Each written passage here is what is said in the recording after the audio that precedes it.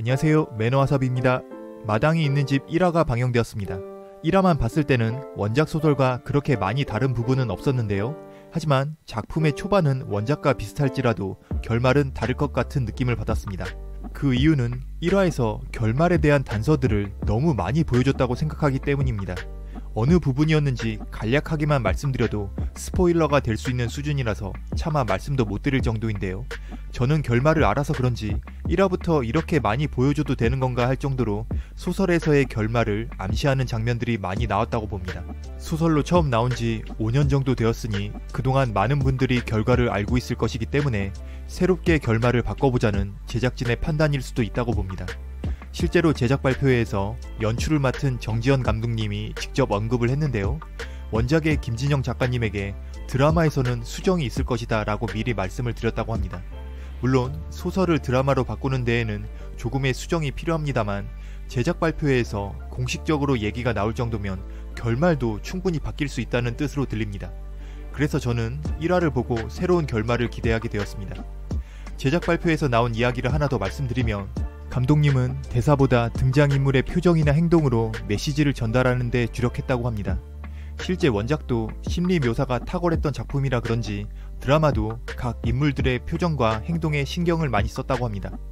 여러분들이 생각하는 범인이 어떤 장면을 보고 어떻게 반응하는지 유심히 살펴보시면 답을 찾을 수 있을 것 같네요. 이 작품은 문주란과 추상은이 주인공이지만 문주란의 남편인 박재호를 유심히 살펴봐야 합니다. 박재호의 행동들로 인하여 문주란과 추상은의 만남이 이루어지기 때문이죠.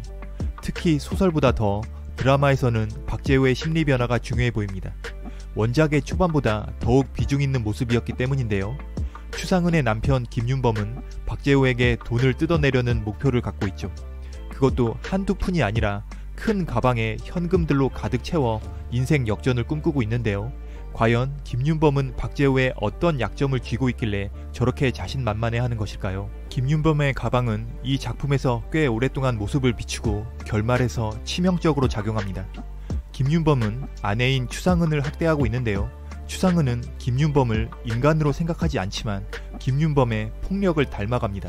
게다가 김윤범이 나쁜 짓을 저질러서 큰 가방에 돈을 채우겠다는 욕심마저도 추상은은 그대로 담게 되죠. 추상은은 마음속으로 새로운 돈가방을 마련합니다. 김윤범은 박재호에게, 추상은은 문주란에게 더러운 계획을 준비해서 각자의 가방에 돈을 쓸어 담을 생각을 하죠. 김윤범의 가방이나 추상은의 마음속 돈가방이나 그들을 파멸로 이끌게 됩니다. 오늘 이화에서 주목해야 할 부분은 추상은이 김윤범의 장례식에서 문주란을 보고 느끼는 감정 표현입니다. 왜 타겟을 문주란으로 잡았고 어떻게 돈 욕심까지 이어지는지 두 배우의 심리 묘사 연기가 기대되는데요. 이화가 끝나고 보다 자세한 리뷰 영상 올려드리도록 하겠습니다. 이번 영상이 조금이라도 도움이 되셨다면 구독과 좋아요를 부탁드립니다. 시청해주셔서 감사합니다. 매너와섭이었습니다. 고맙습니다.